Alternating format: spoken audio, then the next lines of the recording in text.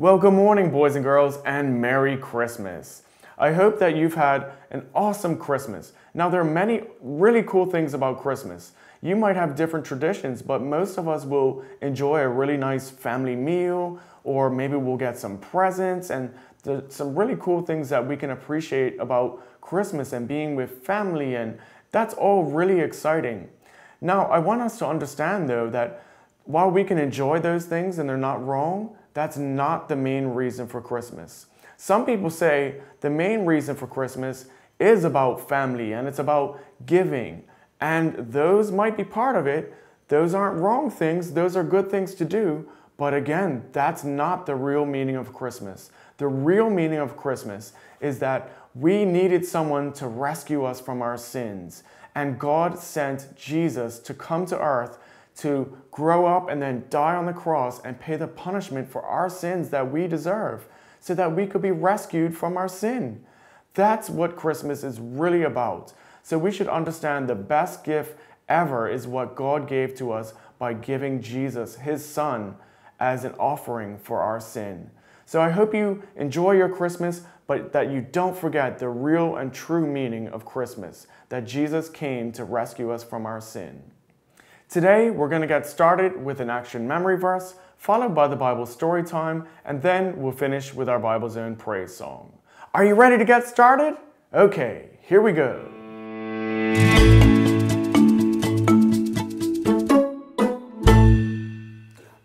Action memory verse comes from the book of Genesis, chapter 16, verse 13.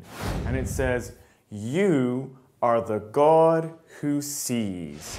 Now, this comes from a story in the Bible with a lady named Hagar, and Hagar had been treated really badly to the point where she ran out into the wilderness and she was all alone and no one was there to help her.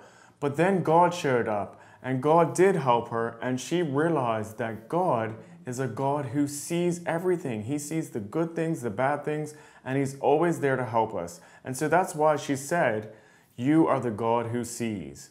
So let's do it again with our actions. Are you ready? You are the God who sees. Great. So, boys and girls, remember that God sees everything and He cares and loves you so much.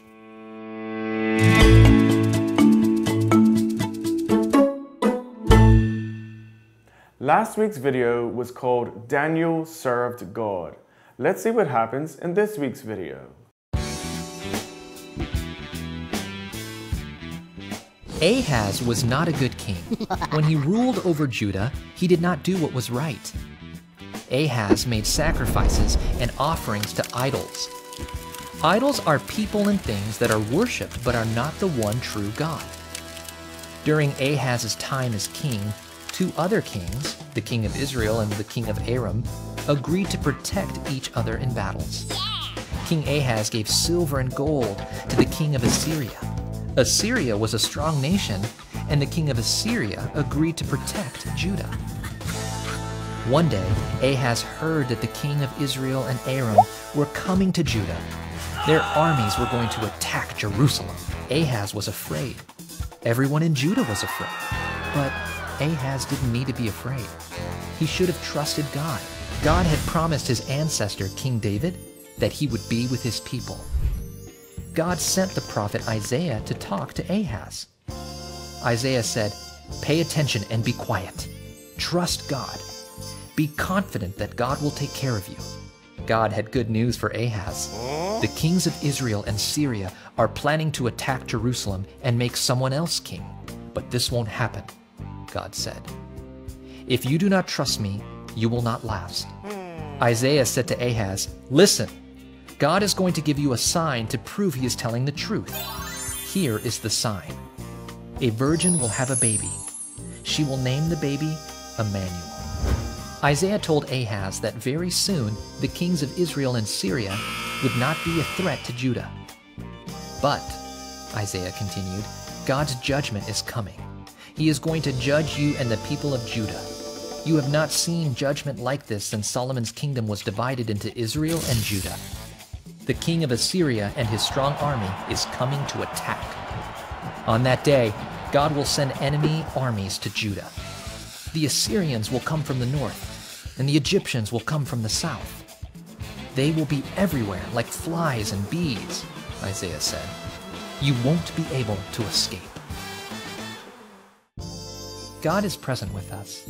He sent prophets to his people, even in captivity, and promised to send Emmanuel, which means God with us. Jesus fulfilled this promise when he came to earth and was born of a virgin. Jesus is our Emmanuel, God with us.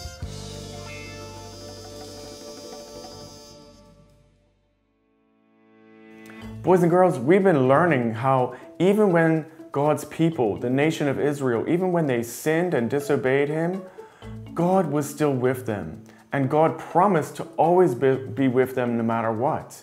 In today's story, we saw that God's promise to be with us came true. A promise that He had made hundreds of years before Jesus was born came true the day that Jesus was born. God had promised to send someone to rescue us from our sins, and that's exactly what happened when Jesus was born. And that's what we celebrate at Christmas. Through the whole Bible, God proved over and over that He can be trusted. And what we saw in this story is that the people often trusted God when things were going well, but then if something bad happened, it's like they forgot that they were able to trust God. They forgot His promises and they started to sin and disobey Him. And so God needed to send people to remind them that they need to obey him and that he can always be trusted. So King Ahaz reacted badly when things started to happen that he was scared about. He didn't trust God, and so God had to send the prophet Isaiah to remind him that God can always be trusted. And in fact, God used the prophet Isaiah to tell Ahaz about a promise that God was going to keep, that was going to happen many, many years later. And that promise was that God was going to send Emmanuel. Now, now, Emmanuel literally means God with us. So God was saying that, you know what? I promise I'm going to send somebody to rescue you from your sins. And one of the names for Jesus is Emmanuel. So many hundred year, many hundreds of years after this promise, Jesus was born. And Jesus is God. So when he was born on earth as a little baby, that literally is that promise of God coming true because God now lived amongst us as Jesus. God always wanted to be amongst his people, but sin messed that up and it separates us from God. But when Jesus came, he made a way for us to be free from our sin and for us to be brought back close to God again, so that when we trust in Jesus, one day we can be with him forever in heaven. So, boys and girls, you might ask the question well, how can we know that God is always with us? We can't see Him. Well, there's a lot of things that we can't see that we just know are true. Um, I can't see the air, but I know it's there because I'm breathing it, right?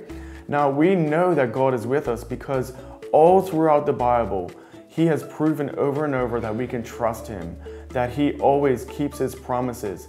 So, when He promises that He'll never leave us and never forsake us, we can know that that's true. And if we're honest, if we take some time to look back on our own lives, we can look at maybe some really sad times, some really difficult times that we went through, and it might have felt like God wasn't there with us. But we should know that because we live in a world that's messed up because of sin, sometimes we're going to go through some bad stuff, but that doesn't mean God has left us. In fact, if we're able to look back at the things that He allowed us to go through, we can see that God is the one who helped us through it. So if you went through something bad before, but you're not now, well, thank God for that and know that He's always with you. If you're going through something bad now, you can trust that if God has come through before, if He's never left me before, well, I can trust Him that He's going to be with me even now. So we can always know that God is with us. So I'd like to close with this question how can you know that God is with you the next time you feel afraid? Okay, boys and girls, it's time for our Bible Zone praise song. The song we're going to do today is a Christmas song, and it's called The Best Present Ever. So some of you might be really excited about some presents you got, whether it's games or toys or clothes or whatever it might be. And that's awesome. But those things over time, they're gonna break down, they may get outdated, there's things that happen to them. But the best present ever is Jesus because we always need Jesus, whether we realize it or not. And so God gave us the best present ever by sending Jesus to help us to be forgiven of our sins by dying on the cross for us. So he's the best present ever. Let's remember that as we sing this song, Best Present Ever.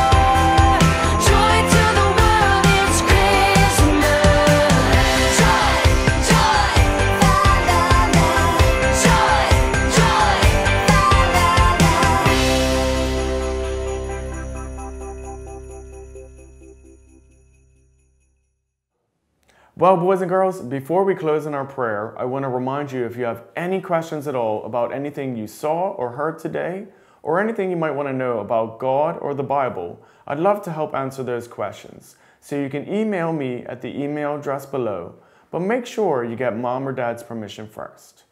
All right, let's close our eyes so we don't get distracted. We're going to pray to God. Let's pray. Dear God, I thank you for Christmas and I thank you for all the awesome things we're able to enjoy.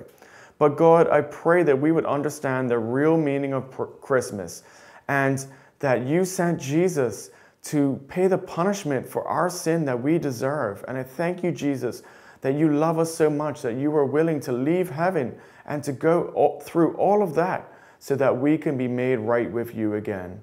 God, I pray that we would also, understand that even though sometimes your promises take a long time for us to see um, come true, you always keep your promises. Just like when you promised you would send a rescuer to save us from our sins, many years later you sent Jesus. So, the same way, we should trust you in every situation that we go through. Help us to do that, I pray. In Jesus' name, amen. Amen. Boys and girls, thank you so much for watching today's video. And remember, God is in all places at all times, and He's always with His people. I'll see you next week.